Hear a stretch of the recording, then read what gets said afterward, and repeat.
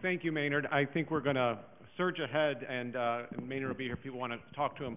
Um, I, uh, I just want to close with just making a few remarks. First, I'll tell you that I have uh, no intention of saying anything very profound now because I've known Maynard quite well for 23 years, having been his postdoctoral fellow, and I, one thing I know is not to try to say anything profound after he's been on the stage because you will look like an amateur by comparison. So I will keep my comments uh, very uh, simple.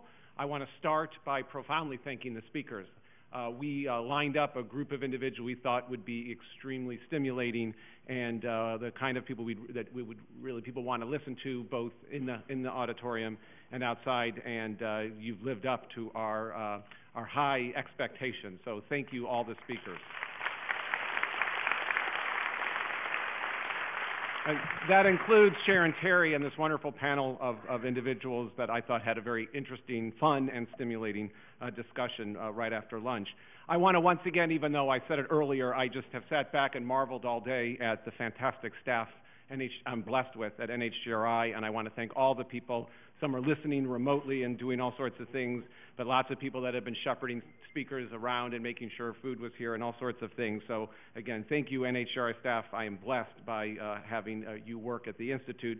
And finally, I want to thank the audience, uh, both those of you who are here, uh, those that couldn't stay all day, but also there's been a very active uh, remote audience, both uh, listening in and watching in, and also blogging in. Um, and uh, people have been watching that and telling me that it's been quite active all day.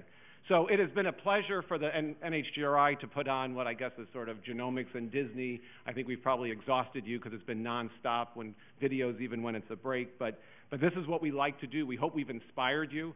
Uh, we hope we've uh, gotten people very excited about genomics, but also I think many of the speakers have given us a lot to think about. And um, I uh, would certainly hope that, uh, that serious thought is given about some of these challenges that lie ahead, because while we're just as excited about this bright future, we also realize that there's a lot of very hard work ahead of us, um, and I think uh, Maynard in particular reminded us what some of those things are likely going to have to be.